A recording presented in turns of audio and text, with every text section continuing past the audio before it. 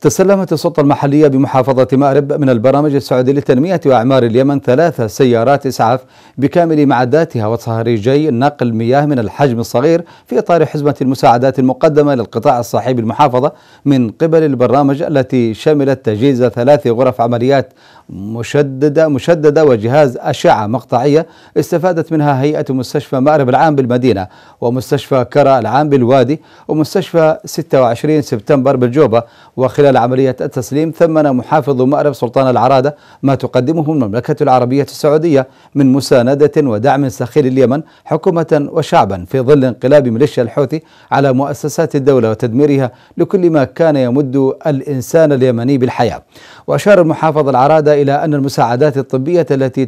تتسلمها السلطة المحلية هي جزء من حزمة مساعدات سلمها جزء منها البرنامج سابقا وتدشينا لمساعدات قادمة ضمن الدعم الذي يقدمه برنامج إعمار اليمن ومركز الملك سلمان للإغاثة للمحافظة. من جانبه أكد قائد التحالف العربي بمحافظتي مأرب والجوف اللواء عبد الحميد المزيني تجديد قيادة المملكة على تقديم الدعم والمساندة لليمن حكومة وشعبا انطلاقا من عمق العلاقات بين البلدين والمصير المشترك كون أمن اليمن من أمن المملكة مشيرا إلى استمرار الدعم والمساندة في مختلف المجالات ودعم مشاريع التنمية وإعادة الأعمار في المحافظات اليمنية ومنها محافظة مأرب.